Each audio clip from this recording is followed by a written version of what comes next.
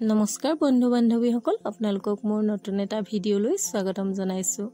আজি মই আপোনালোকৰ বাবে লৈ আহিছোঁ পনীৰৰ এটা ৰেচিপি বলকচোন চাওঁ মই কেনেদৰে বনালোঁ।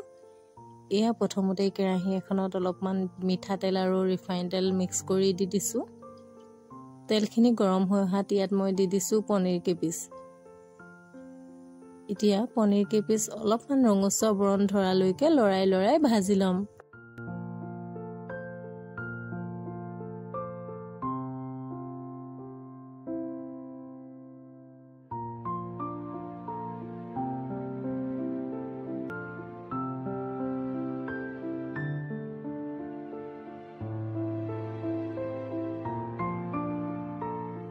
দেখিছেনে? পনীৰ কেপিচ অলপ অলপ ৰঙচুৱা হৈ গ'ল। এনেকুৱাতে মই এতিয়া পনীৰ কেপিচ কাঢ়ি ল'ম।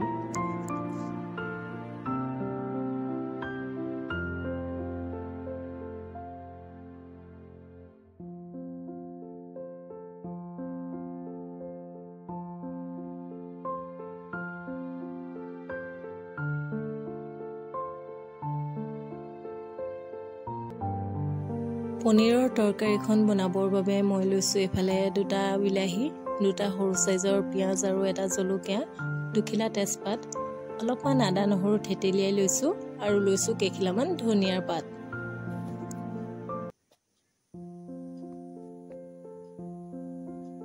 এতিয়া সেই একেখন কেৰাহীতে আৰু অলপমান মিঠাতেল দি দিছোঁ। দি ইয়াত পিঁয়াজ দি দিছোঁ।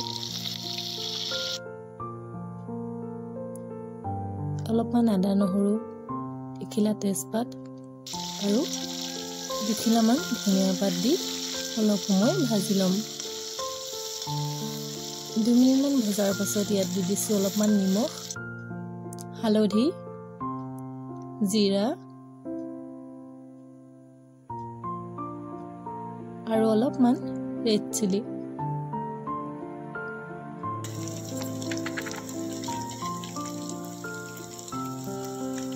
এবাৰ ভালদৰে লৰাই দিছোঁ। আৰু এতিয়া ইয়াত দি দিছোঁ কাটি লোৱা বিলাহীখিনি। এতিয়া বিলাহীখিনি ভালদৰে সিজালৈকে লৰাই লৰাই ভাজি থাকিব লাগিব।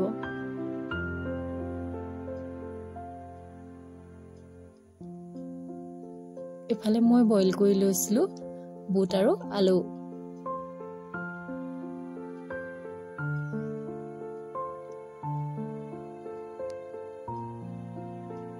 বিলাহীখিনি ধুনীয়াকৈ সিজি আহিল এনেকুৱাতে এতিয়া ইয়াত দি দিম।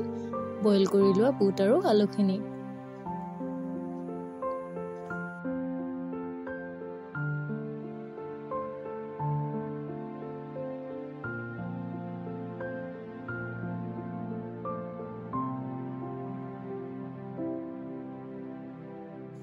এইখিনি দিয়াৰ পাছত এবাৰ ভালদৰে লৰাই দিছোঁ। অলপ সময় ভজাৰ পাছত ইয়াত দি দিম পানী। পানী মানে যিখিনি পানী বইল কৰোঁতে ৰৈ গৈছিল সেই পানীখিনিকে ইয়াত দিম।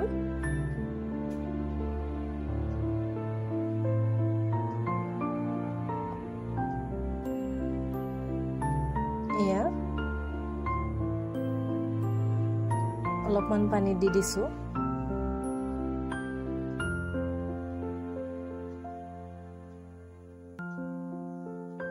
দুই মিনিটমান ভাজি লোৱাৰ পাছত আকৌ ইয়াত আৰু অলপমান পানী দি দিছোঁ ৰৈ যোৱা।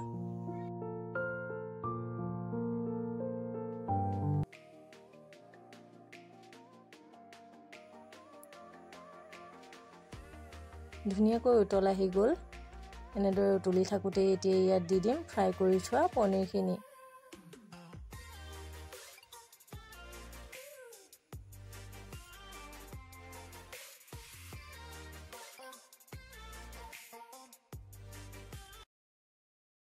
আপোনালোকে চাগে মন কৰিছে মই ইয়াত আকৌ নিমখ দিয়া নাই।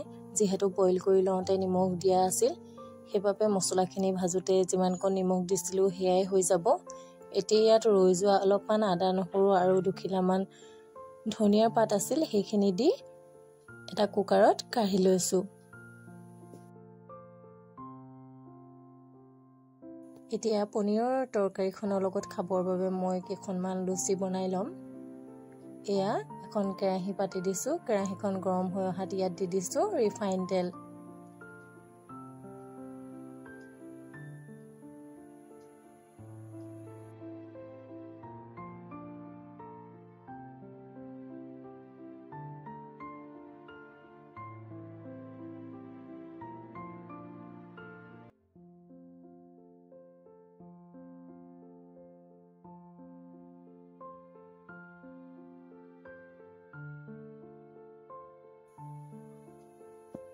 এয়া দেখিছেনে? প্ৰথমখন লুচি কিমান ধুনীয়াকৈ ফুলি আহিল। এনেদৰে এতিয়া বাকীখিনিও বনাই ল'ম।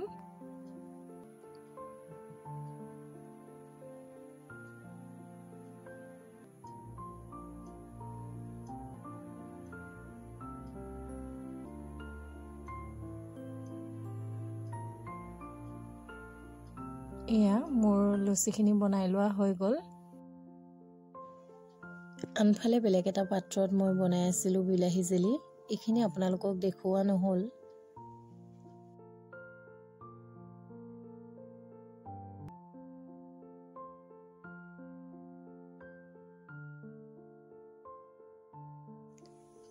কাবেলী বুট আৰু পনীৰৰ তৰকাৰীখন এতিয়া এটা বাতিত বাঢ়ি ল'ম। সকলোবোৰ ৰন্ধা হৈ গ'ল। এতিয়া আহি পৰিলহি খোৱাৰ সময়। মই কি কিনো ৰান্ধিলোঁ তাকে আপোনালোককো দেখাওঁ। নহয় জানো?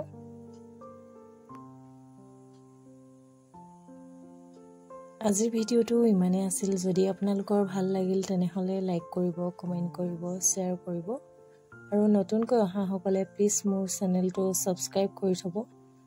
আকৌ লগ পাম নতুন এটা ৰেচিপিৰ সৈতে। তেতিয়ালৈকে সকলোকে বাই বাই।